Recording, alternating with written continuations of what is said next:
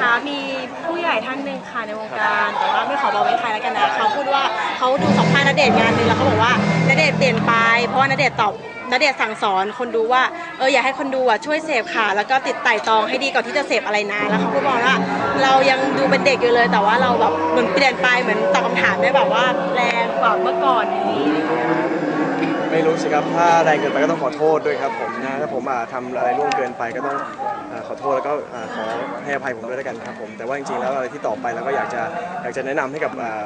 คนดูนะฮะคนอ่าคนที่เสพข่าวเสพสื่ออะไรอย่างนี้ขอให้มีวิจารณญาณในการโชว์อะไรวิจารณญาณในการฟังในการอ่านอะไรอย่างนี้ด้วยครับผมเขาเหมือนคอมเมนต์ว่าเออเรายังเด็กแต่ว่าครับเราต้องขอโทษด้วยครับผมนะฮะถ้าล่วงเกินไปครับ เรารู้สึกไงบ้างคะที่มีคนคอมเมนต์แบบนี้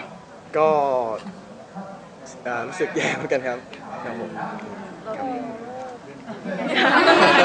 เคไม่เป็นไรครับไม่เป็นไรครับก็ คนมองว่าเราเปลี่ยนไปแล้วตอบคำถามแรงขึ้นเรารู้สึกไงคะจริงๆเราไม่ได้เปลี่ยนหรือว่าไงบ้างเอ่อไม่รู้สิฮะผมเองก็ยังเหมือนเดิมครับแต่บางครั้งบางทีมันก็เอ่อบางทีอาจจะแบบว่าไม่สติไม่อยู่กับตัวบางทีอาจจะแบบว่าพูดอะไรไม่ค่อยรู้เรื่อง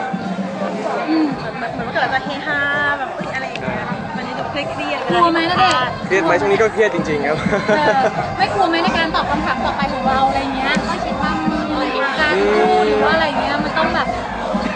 กก็น้อยก็คงเหมือนเดิมนะครับก็คงตอบอะไรเหมือนเดิมนะครับผมไม่มีอะไรต้องเปลี่ยนแปลงครับว่าทำให้โตขึ้นด้วยใช่ไหมแบบว่า จริงๆแล้ว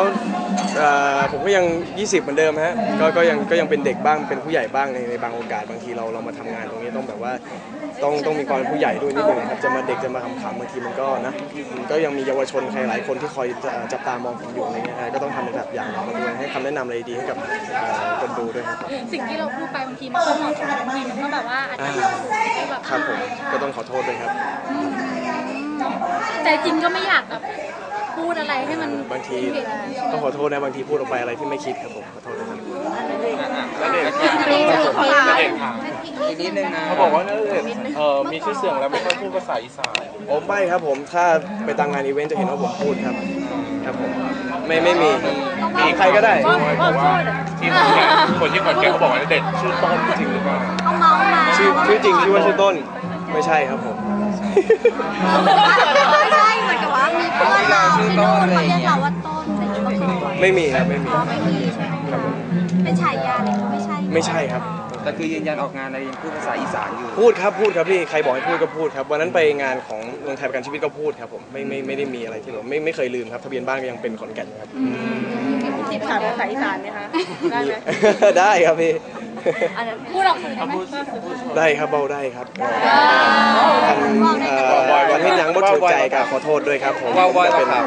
เด็กคนหนึงที่ว่าพูดหยังบ่ได้มากครับผมคันพูดไปมากก็สิว่าเอิ่มแกแดดก้าวร้าวจังซี่ครับผม